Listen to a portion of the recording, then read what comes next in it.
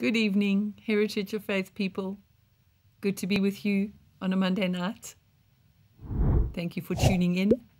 And I'm continuing in the flow of God wants his people fully entrenched in his covenant pros- of prosperity and not to have their trust in the world system because the world system is falling and failing.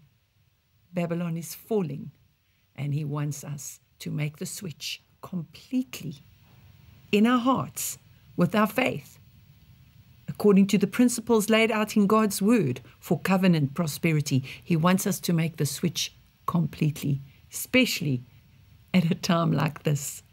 So I'm going to continue to read to you from Scripture.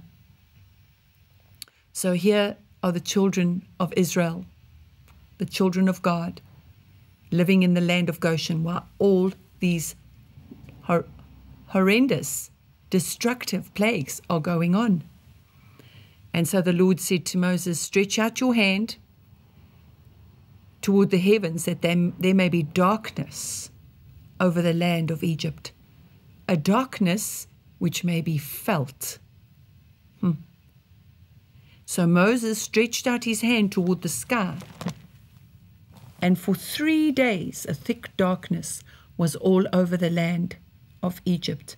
The Egyptians could not see one another, nor did anyone rise from his place for three days. Sounds like lockdown to me, that. The Egyptians could not see one another, nor did anyone rise from his home, his place, for three days. But all the Israelites had natural light in their dwellings. How beautiful is that?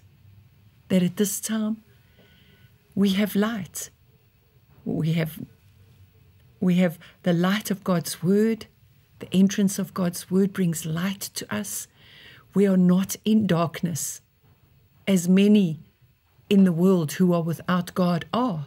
They are in darkness in their thought life about what is going on.